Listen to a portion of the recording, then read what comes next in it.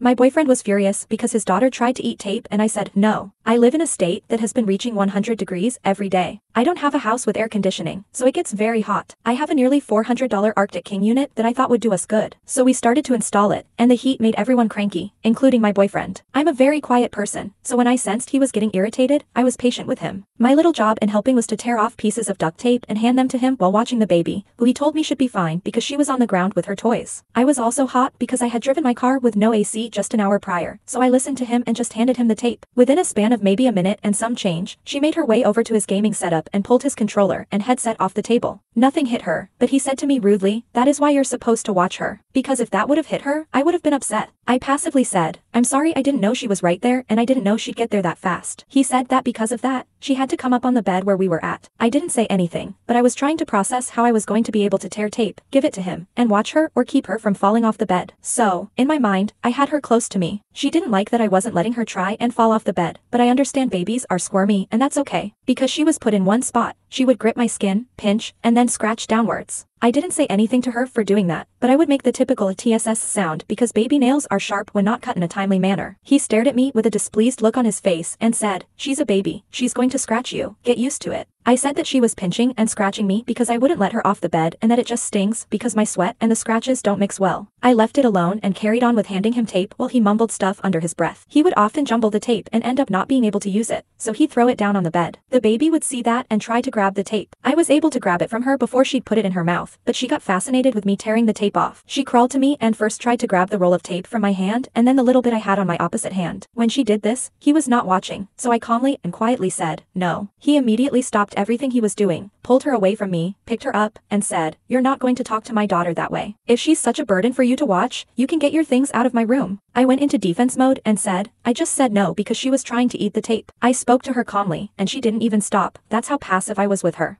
He told me that since I didn't validate his feelings as a father and that because I was much more busy defending myself, that meant he was right about me having a tone slash attitude towards her. Why would I admit to something I'm not guilty of? I'm currently in my first trimester with my first baby, and I'm sick and very tired all the time. He told me to get my things out of his room. I pay rent and utilities while he buys whatever he wants, and that we were done. So I did, which included a 65-inch TV, a nightstand, and my king-sized memory foam mattress that felt like it weighed more than me. I'm sure I'm exaggerating, but I am 4 feet 11 inches.